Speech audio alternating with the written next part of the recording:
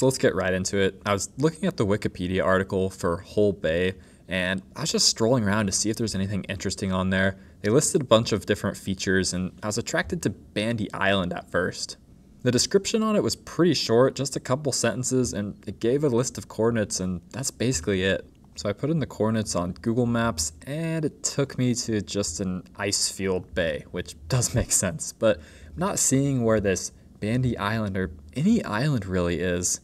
Just for context, this is kind of where it is in Antarctica, right off the coast, but on that exact spot, there's really nothing. There seems to be a few islands to the south of it, and maybe some ice chunks. Maybe they're ice covered islands over here to the east of that point, but no island at that area. Let's check Apple Maps. I put those same coordinates in. Let's zoom all the way in. And nothing there. Let's check the satellite view. There is something to the west, which is interesting. But on satellite view, you really can't see anything.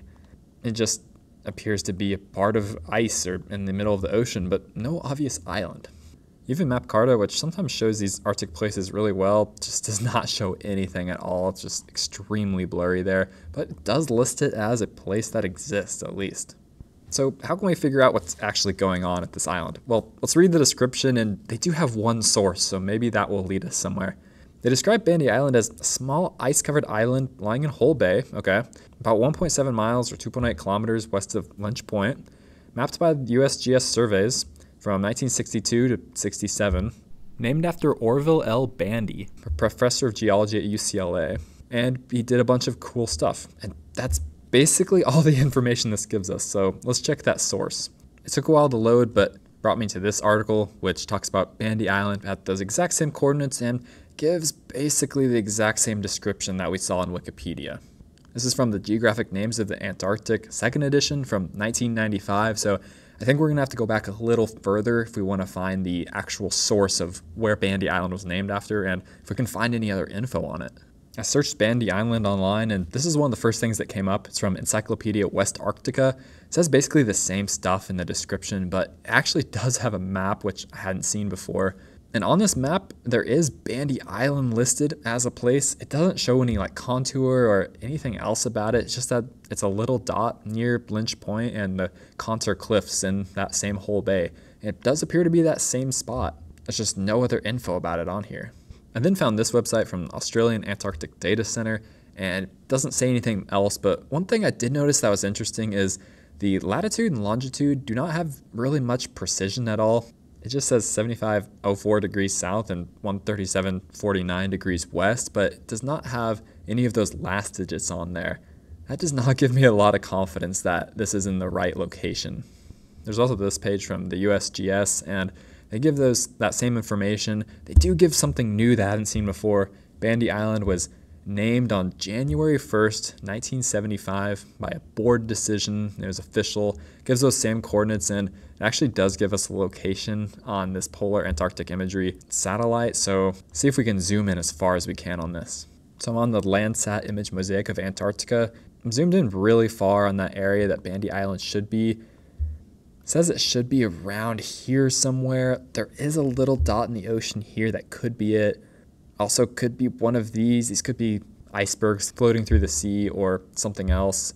Just up here is that Lynch Point, and it's about 1.5 miles west, so should be around here. But even on this really detailed satellite view of Antarctica, really still not clearly seeing this place. I found this from 1989.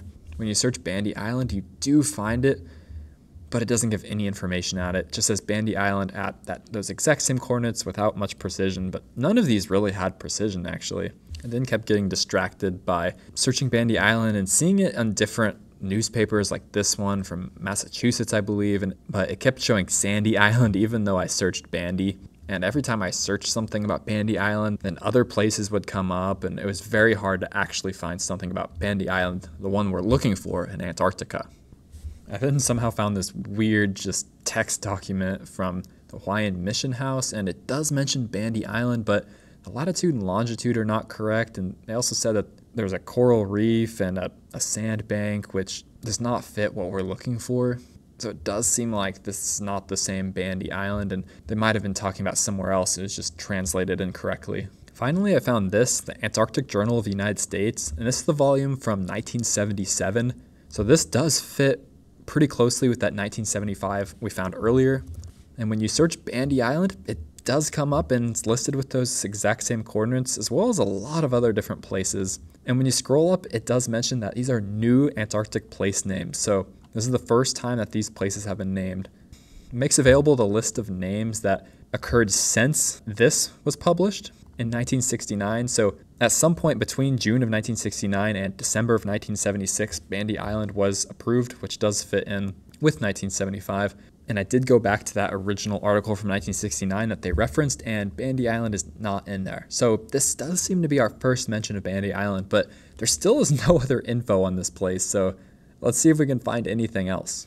So I then went back to the original Wikipedia article to see if I was missing something that I could search to find any more info. And obviously they talked about Orville L. Bandy, that the island was named after. So that's got to be a big hint. So I just straight up searched the guy on Bing and he did actually have a Wikipedia article of himself too which was not linked in the original article. And when you look at the Wikipedia article for Orville Lee Bandy, it is the same guy. He's a geologist and a professor at USC. He grew up in Corvallis, Oregon, went to Oregon State, but they never mention anything in here about an island being named after him, which is pretty wild. I even looked at a memorial from him. He seemed like a really accomplished guy who did a lot in, in geography and geology. He even had something named after him called Bandygrams, which is really cool. But nowhere in this memorial was Bandy Island ever mentioned or anything about an island in the Antarctic that he may have discovered. So I'm guessing that this was written just before they decided to name an island after him. I then spent forever trying to look from that original survey from US Navy aerial photographs from 1962 to 67. I could not find the actual material that mentioned Bandy Island or mentioned that area. I did find this report from around that time which talks about topographic maps from the Antarctica Reconnaissance Series that showed that the US Navy did look at that area and they do have publishable maps somewhere. And they said that they're for sale for 75 cents. This was written in the 1960s, so obviously I don't think that's a thing anymore. But I would love to be able to get my hands on one of these maps. I have no idea how I'd even get one of these today. This is from the 1962 to 1970 publications of the Geological Survey. And there's a lot of good stuff in here, just random geography stuff. You can find a lot of weird stuff online if you keep searching far enough. And those are almost all of the sources I could find that even mentioned Bandy Island or had any good info on it. So it seems like they just kind of named the island after him in a private setting, didn't really make a big fuss about it on the internet. Like there's no article that I could find that says, oh, we named an island after Bandy. Maybe in a newspaper at some time there was, but I couldn't find anything. So, is Bandy Island actually real? Well, I have a couple different theories that I think could be happening with this place. One of the weirder theories is Bandy Island could be very similar to Sandy Island. So, Sandy Island was put on a lot of maps back in the day because James Cook actually saw it. But when people actually looked harder, we discovered that it wasn't actually there and they removed it from that maps. A lot of people have made videos about this place. So maybe Bandy Island is one of those where they originally thought there was an island there, but now that we're taking a closer look and we have better imagery, we can see that actually there really isn't anything there, and Bandy Island is the next Sandy Island. It could also be a copyright trap, like if anyone has collected all the info from USGS and made their own website, they can search through and say, oh, there's Bandy Island on there. And Bandy Island was a fake one that we made up, so we know you copied our entire thing. But I don't know if that's true. The more plausible theories is Bandy Island is actually real and is somewhere around here. It's just not mapped perfectly accurately. Maybe it's one of these rocks down here. Maybe it's something up here to the northwest that we just can't see. Or maybe it's under this ice right here and we just can't see it from these satellite views, but if you went there in person, you could see a little rock. I'd love to hear what you guys think. Is this place real or is this fake or is there something even weirder going on here? If you like this video, check out this one in the bottom left corner. Thanks for watching.